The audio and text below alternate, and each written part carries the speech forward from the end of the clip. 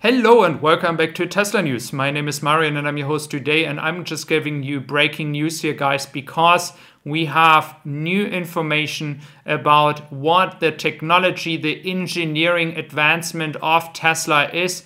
It is just insane. So we have to look into that because that is definitely for the Model Y a game changer. So let's look into it.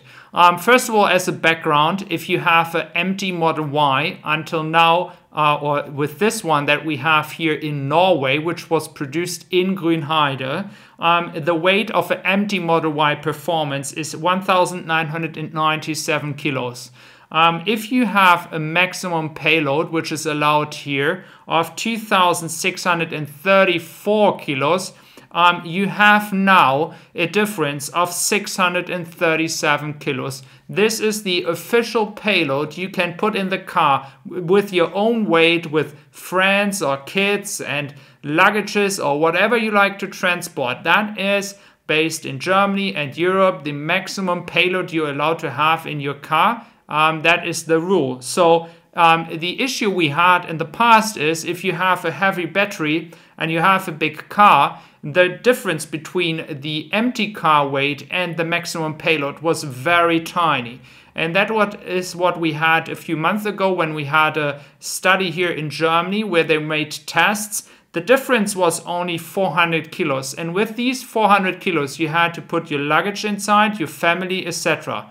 And so if you have a Model Y in the future that has by any chance seven people inside, you can really get in a struggle point here to not go over the maximum payload. And that is um, what is the game changer here. Because with the new Model Y here in Germany, the space or the amount of kilos you're now uh, allowed to put inside is 637. So um, because the car is much lighter, so Tesla is producing it much more efficient, you have now 237 kilos that you have more inside your car. You can use that for another person, for another luggage, um, for skis, snowboards, whatever you like to do that with that. But this is massive. So you just got 237 kilos more space you can use because the car is much lighter. And that is very, very game changing, guys, because this was an issue in the past, but now that is just the beginning. So I do expect that actually in Austin, um, with the new battery packs, it should be even lighter because we do know that the 4680 cells are even lighter. Um, it is not clear yet if Tesla is actually going to um, put um, more battery packs or more capacity inside the battery packs to make it uh, longer range or if they're going to take the same amount and with that the car is getting even lighter that is the question we still have to um, ask ourselves then we have more reports here. The local government is um, supporting the fact that there's not a water issue here. Um, so we still have to figure out how long it takes to get the final permit but there's no indication, no negative indications yet. So um, still paperwork, guys, not more what I can tell you. And I'm not going to run into speculations like other channels do. Um, so now we do have here the Model 3 in Europe. And this is just getting, getting insane as well. We do have here now the max range, um, which is now available in August. And my feeling is that Tesla really likes to push the delivery times a bit back because officially you can still receive the Model Y long range in February. And the issue, or not like not a negative issue, um, but the situation in Europe is that more and more people are actually waiting for Grünheide to open to get the cars from Grünheide and not from China.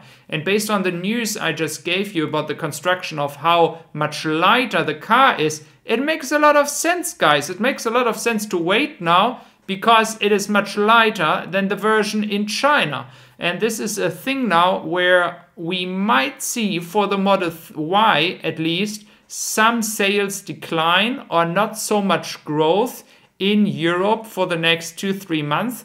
Until then, um, the German factory is actually starting to produce cars in a um, substantial amount, like in a in a really to not like 80 cars a month, but a few thousand cars a month. that would be um, the point where people are waiting to uh, the for to get the car in Germany. Furthermore, we do have the safety score. Um, we had the Tesla Club in San Diego asking if everyone can get the safety score, which has the basic autopilot. Um, I think it's a very good idea to do that. I believe it would give the people a good feeling on um, how the technology, how AI is predicting your behavior in the car. And this is, I think, a very important thing that Tesla could add.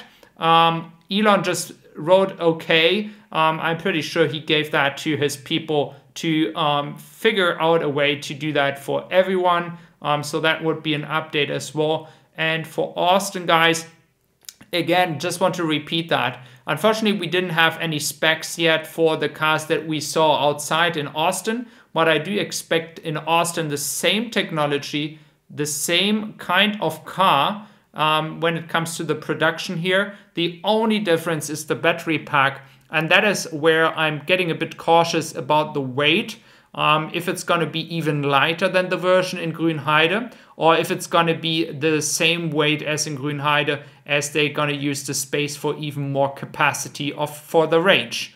Then we look into Redwood Materials. Um, they are actually going for copper here in a very, very high production rate um, so that they could deliver copper for 1 million cars a year. Um, that is actually pretty insane. And I actually start to believe that Tesla, if they have enough time to do that, maybe here in Austin they have enough space to do that, um, that they actually decide to go into recycling at some point as well, because it would make a lot of sense to um, close the cycle of somebody buying a car from Tesla and Tesla is going to recycle everything, reuse everything, um, reuse the battery, which they know because they produced it um, in most cases um, in the future, especially for the 4680 cells.